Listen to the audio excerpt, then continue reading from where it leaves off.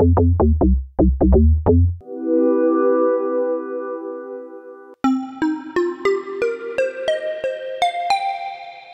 we all want to have full control over our sounds as producers, but for some of us, that means learning the intricacies of FM synthesis. What's up guys, it's Aiden from EDM Prod, and today I'm going to show you guys how you can get started with FM synthesis. Let's dive in, but before we do, if you like some free sample packs, presets, and other PDF guides, etc., make sure to check out our free resources in the description. Okay, so let me give you an audio example of how the sound of FM synthesis is different. So let me play you a subtractive synth sound. Right, it's got that very kind of standard synthesis based uh, tonality to it. Let's play at a wavetable example.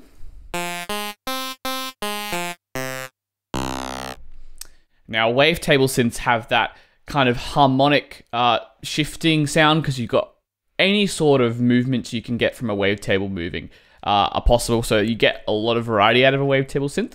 But when we come to FM synthesis, we have a specific sound that we kind of get out of it. So it has a very kind of harmonic belly type sound to it. Historically, the reason FM synthesis sounds so different from other forms of synthesis is because it was a purely digital form of synthesis. And as we'll get into, the processes involved involve creating these really, really rich waveforms that you could just not get through other forms of traditional subtractive or other synthesis types out there. Now, today, if you've seen uh, any sort of bass tutorial on YouTube, you'll know that FM synthesis is a big part of modern day bass design. But beyond that, it's also traditionally involved in creating a lot of cool bell and key sounds, a lot of rich pads, and also all sorts of crazy effects. So it's quite a versatile form of synthesis as we're going to discover. Okay, so let's go into how FM synthesis actually works. So the analogy I want to paint here is imagine you're running up a hill and you're trying to run at a certain pace, but obviously running a hill naturally slows you down because gravity. At some certain point, when you start to reach the top of the hill, you kind of speed up because the incline becomes less and less. And then considering that you're running at the same rate, you'll start to actually move a bit faster because you're having to exert less effort. And you'll naturally move faster as a result. And then when you come down the other side of the hill, you'll actually run faster without any sort of extra effort. It just happens. Now imagine you're doing this up and down multiple hills over and over again. This is the fundamental principle behind FM synthesis you have a wave, which would be you running, which is modulated by another wave, which has its own peaks and valleys, creating a pitch modulation effect. Now, if we load up Serum here, we can think of FM synthesis as pitch modulation.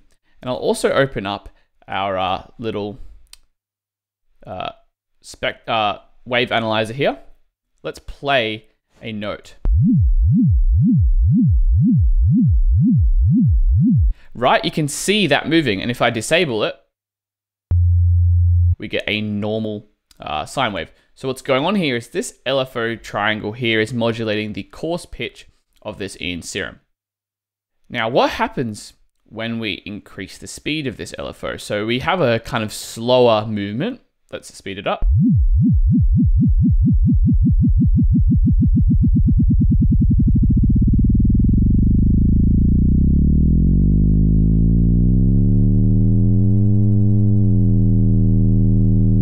We actually start to get beyond the realm of rhythm and we actually become tonal with this movement. So it creates its own kind of sound and almost like it's self oscillating. So you can hear.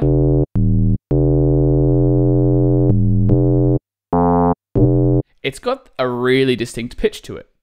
Now we can also play around with this by increasing the amplitude of modulation, so not just the speed.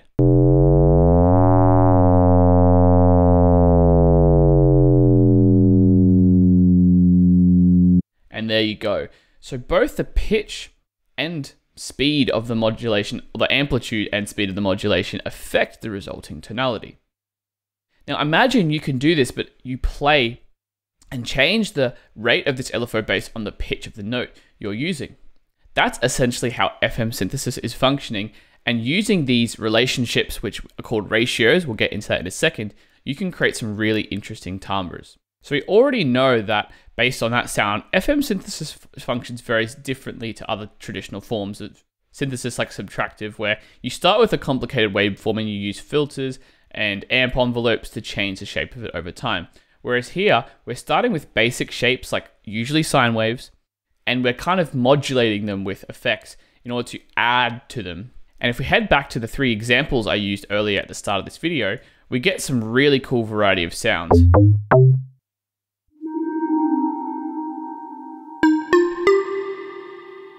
And that's just a taste of what's possible. And if you want to dive into how these sounds are actually made, make sure you stick around to the end of the video because I'm going to be going in depth with all of this sort of stuff. So let's look at an example of an FM synth, and I'm going to be using Ableton's operator. It's quite a straightforward but very, very powerful FM synth. You're welcome to follow along in any other number of FM synths, and I'm going to cover a few at the end of the video, so once again, make sure you stick around. So instead of using oscillators, an FM synth like operator uses, well, operators. If we look at the bottom here, we can see that there's four sections here. Now, other FM synths may have more than four operators. Some like FM8 have eight, uh, and others have six. So what happens is you have, for example, one operator here which has got the level at zero. And if we play this, we get a basic sine wave sound. Now, similar to what I was doing in Serum before, we have uh, these other operators by default feeding into this. So this is going to be what we call the carrier, and we have these as the modulators.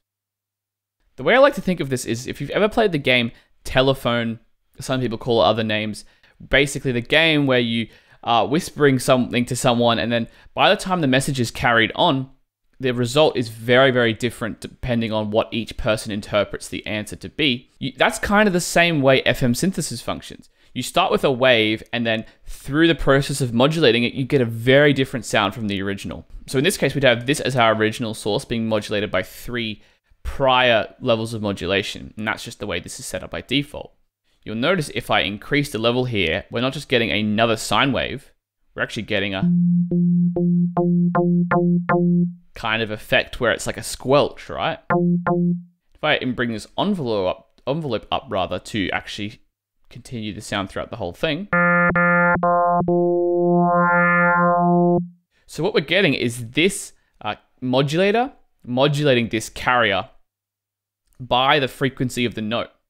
And by default, all of these are set to modulate by the frequency of the note you're playing on your keyboard. Now we can actually go ahead and change some of these pitch uh, characteristics, which I'm going to do a little later in the video. But you can do different levels of modulation with different settings.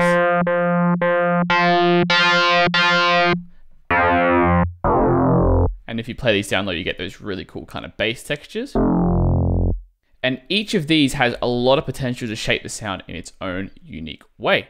But what determines what modulates what? Now, in a synth like Operator, and traditionally on a lot of FM synths like the original DX7, which was the first hardware uh, FM synth by Yamaha, basically they have a preset number of configurations you can use. And if you are using Operator, you can click in the bottom right here, which brings up this whole host of potential options. Now, the way you want to think about this is this. The one that's linked at the bottom here is the one that's going directly to output, but if it's linked to another operator, that means it's a modulator. So at the bottom of all of these, the yellow one is the only one that is being sent directly to the output, so the yellow one is the only carrier. When we get into these configurations, we notice that we have two output uh, operators, which means that we can get, you know, kind of more layered sounds rather than everything just modulating everything. Same with this one. This one's back to one output being modulated by three different operators, but in parallel, not in series. We've got two and two. We've got one modulating three outputs. We've got two standalone outputs and then one modulated output. And then we've got a all direct output one. This treats the synth more like a standard subtractive kind of synth because it's no frequency modulation going on. So there's a few different configurations as we'll explore, if you're in a synth like FM8, you can actually customize these and do any number of crazy combinations to get really cool textured sounds. But for now, we're just going to stick with these simple algorithms we've got in Operator. Let's hear how some of these sound when we change them.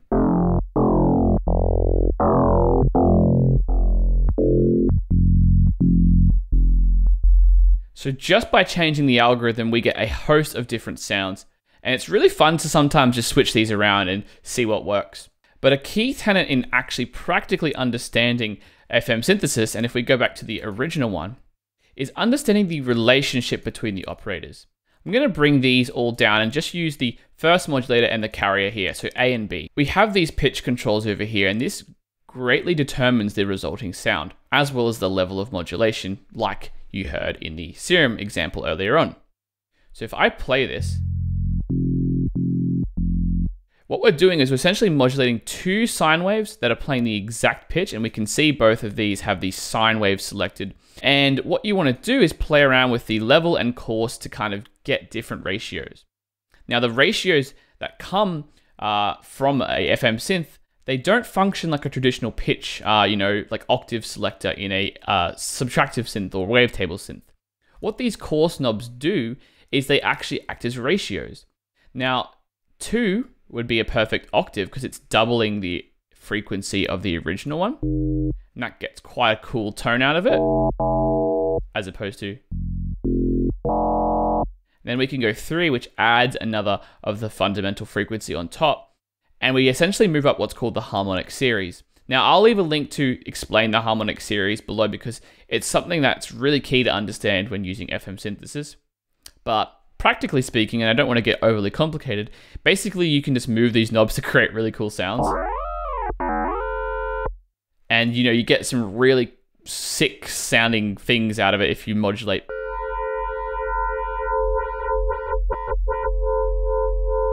And then move this as well. That's where a lot of this power comes from in FM synthesis, as you can already hear. Now, you can obviously change things like the fine pitch too. This adds like a nice kind of wobble to the sound, which I really like. And kind of a natural movement too. And you can basically go crazy with different layers. I can add another one up here and do another layer of modulation on top of that. And in addition to all of this uh, I'm doing here is you can shape the envelope of each of these modulators and carriers. For example, if I turn off C again, and I can change the decay envelope here, you'll notice that I get a much more bright tonal sound at the beginning, but then it decays down. So even though this uh, is open the whole time, the main carrier, this kind of gives it a nice pluckiness. Because the level is basically being modulated by this envelope, and that's great. We can do this at multiple stages as well.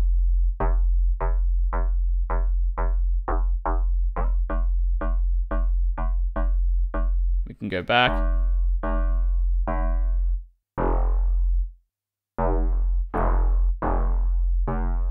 And do other layers. And you notice if I turn all of this off, nothing comes through because this is what we need to send to the output. I'm going to turn off the filter here as well because by default the filter does kind of affect the sound quite a lot. And you can see the power of using these harmonic ratios to get completely different textures and moving them and modulating them, etc. Now, I just want to kind of go over some best practices because you can hear there's a lot of potential in FM synthesis, but it kind of requires uh, knowledge and skills in order to harness the power of it to get what you want. First and foremost, I, as I mentioned, using sine waves or less harmonically complicated waveforms from this wave selector here makes things a lot easier in the long run because you're already generating those really complicated sounds to begin with. But beyond that, it's important that you're playing notes in the range for the sound that you're trying to create. For example, if you're trying to make a bass, play up low, uh, play down lower because if you play up high, you get a very different sound, right? So it's very important to kind of get that right. And then we want to shape the sound for the range you're playing in. So if I wanted to turn this into more of a pluck sound, I'd probably make the original pluckier. Probably move these back a bit more. Maybe I'd add a bit of attack just to add some natural movement in some kind of places. And you know, you'd shape the sound depending on what you're trying to go for. Um, I would recommend if you're doing basses, you can get away with generally a lot more coarse and a lot more intense modulation. But for more simplistic kind of plucky or pad sounds, you kind of want to don't you don't want to do too much complicated modulation. Now, of course, a synth like Operator or FM8 has a lot of the kind of standard features you'd find on a normal synth. You have an LFO for modulating all of the um, uh, destinations. Uh, so that's the pitch. And you notice if you don't modulate one of them, for example, you kind of get a weird texture because this one's pitch is staying the same, but these are all moving. You've of course got a filter section, which can be really handy because sometimes you get too harsh sounds out of FM synthesis, so you can tame it with an envelope. You've of course got a pitch envelope. You can modulate the decay of and kind of get some cool pitch effects. You got things like spread. And you've got a whole other variety of, um, you know, effects, uh, modulation capabilities, and that really is dependent on the exact FM synth you're using. These are just a few kind of standard ones that are on Operator and are also included in some of the other ones like FM8 or Sytrus in FL Studio. Now, let me kind of show you how this practically played out for those sounds I showed you earlier. If I show you this bass sound, let's look at what's actually going on. Besides a bit of post-processing that's going on, we're using three operators in the standard algorithm. The first one is kind of just playing a plucky sine wave, so let's turn those off. And then we're kind of adding one layer of modulation at two, which kind of gives it that very subtle modulation effect. It's not like anything too kind of harsh. Perfect amount there. Uh, I have messed around with the phase of this particular oscillator because I do find that changing the phase, and that's something for another video, does affect the resulting sound a little more. And I've also added another layer of plus five. That just gives that initial kind of pluckiness to it, especially once I turn off the filter. Just gives that initial pluck to the bass. And then I am controlling it with a little bit of filtering just to make sure that the bass sound doesn't have too much um, top end. You can play around with the exact settings there, but that's kind of a nice bass pluck sound. And then I just use a bit of uh, saturation and compression in Camel Crusher.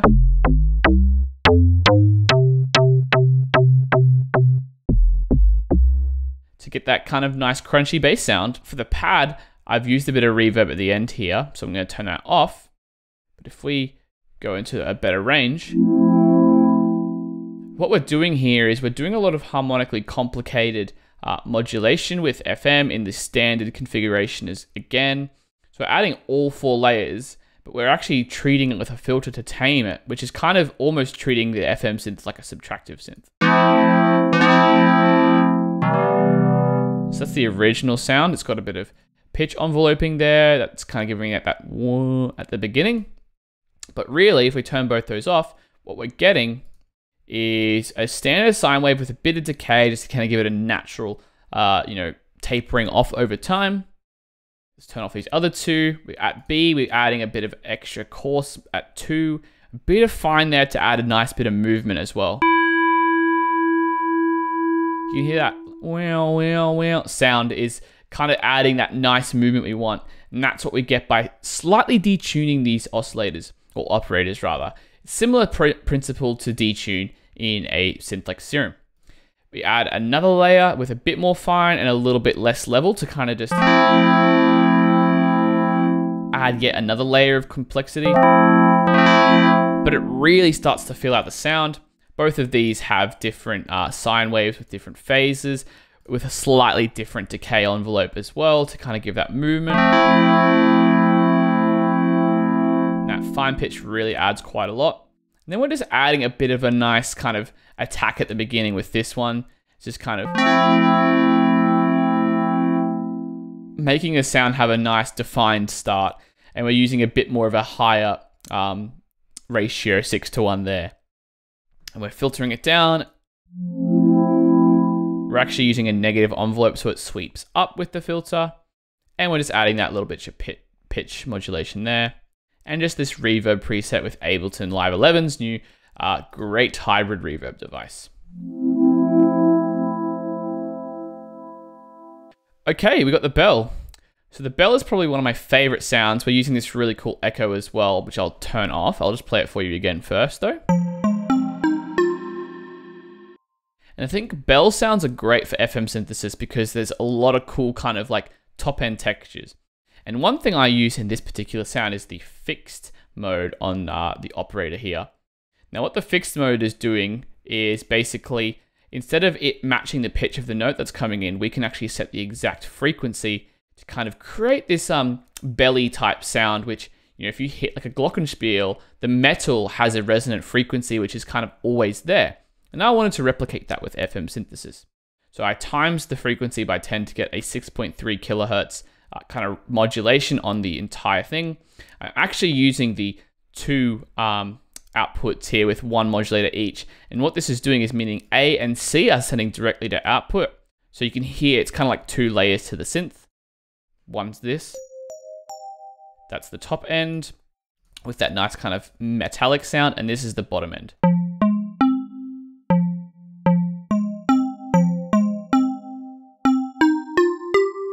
And this harmonic kind of sound to it is really nice because we actually move the uh, C up three.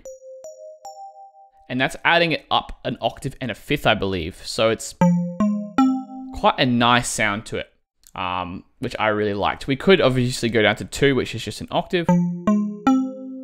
But I kind of liked this sound. Or we could go up four, which is a two octaves. But that three just added such a nice effect. So I'm using this bottom end to kind of get the body of the bell sound. Standard sine wave with a more kind of squarey wave. One thing I will cover in another video is the additive functionality of FM synthesis or FM synths like operator. I've created more of a square wave by manually drawing in these harmonics. Don't worry about that for now. And that's just kind of given it more of a rich sound. I've added a bit of a pluck to this one, so that gives it that movement as well as a bit of fine pitch to give it some instability there. Really love this feature. And then on this one, we're using a three courses the basis here. It's a nice kind of decay there and a bit of release as well to kind of give it that nice kind of airy sound. And all we're doing is modulating it with that fixed uh, operator. So you notice whenever I play a different note, that kind of tonality remains the same throughout rather than something like that. And I just blended the level to taste there with that one. And then combined, you get this really cool effect. You could, of course, increase the level depending on between C and A what you want as kind of blend of layers. Add a bit of pitch enveloping and the spread feature to give it that thickness without it.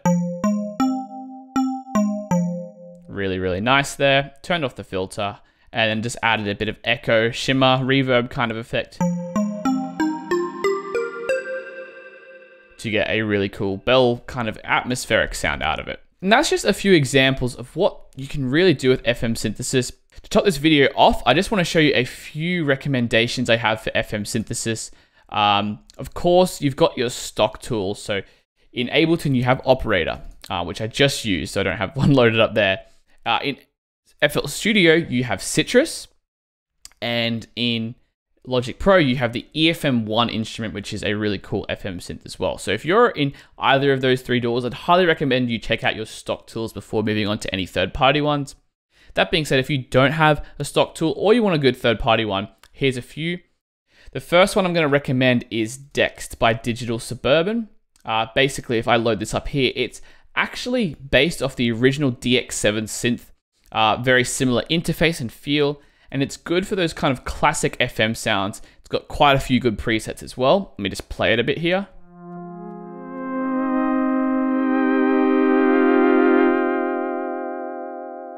The great thing about Dexed is it also has a lot of algorithms. If you notice here, I got like over 20 32 algorithms to use and it's got six operators. So it's a bit more in depth. The interface is a bit overwhelming for newbies, but is, is a good free option if you want one.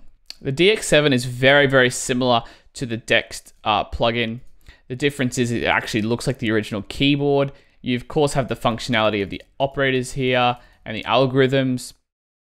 You can dive in to the exact programming of each of them by clicking on any of them, which is really cool. I really like their interface. I think it's like taking the best parts of the DX7 and making them into a way better looking synth. And then, of course, you've got a few uh, controls here. This is based on how it looks on the DX7 as well.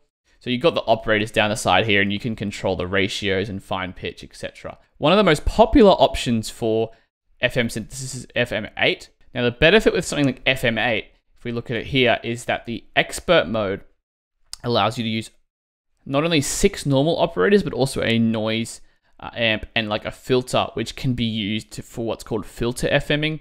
Basically, it moves the cutoff of the filter at the rate of the modulating frequency instead of just the volume. You can get some really sick effects as you can imagine, so I'd highly recommend playing around with this. At some point, I may do an FM8 video dedicated to diving into the more advanced side of FM synthesis, but for now, if you want something that's going to be basically setting you up for your entire journey of FM synthesis, I'd recommend FM8.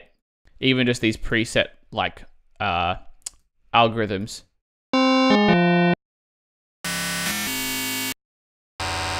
really good, particularly for bass design as well. Lastly, you've got the Waves flow motion. So the flow motion is probably a, like one of my favorite interfaces. Uh, it's very visual if you're a visual person, although it's not as complicated or in depth as things like FM8. You can still turn up the volume there a bit. Get some really cool effects out of it. You've got your four operators in the middle, and you can control the ratio, the waveform of each of these here, as well as you've got four modulation sources over on the side which you can use. And you'll see here that these knobs on the edges of each of these operators control what's sending to what, which is a really fun way of working. So you can send them to the output here, or you can send them to each other. It's really fun. I highly recommend you check this out if you want a bit more creative sound design possibility. Now, if I missed any other good FM synth plugins, please drop a comment below and let me know because I would love to add a recommendation in at some point. Okay, so that just about wraps things up for this video. I really hope that you've gotten something out of this video on FM synthesis and you've been able to feel inspired to get started. And if this video really did help you understand and learn FM synthesis, give it a like because that way someone else will be able to come along and figure it out, out for themselves because it will recommend it to people. And then while you're at that, also feel free to share this with someone, a producer friend who you think will get something out of this. And lastly, if you liked this and want to stick around for more content, just hit that subscribe button down in the bottom right and get all of our video updates. Amazing, guys. Thank you so much. This has been Aiden from EDM Prod. I'll see you in the next one.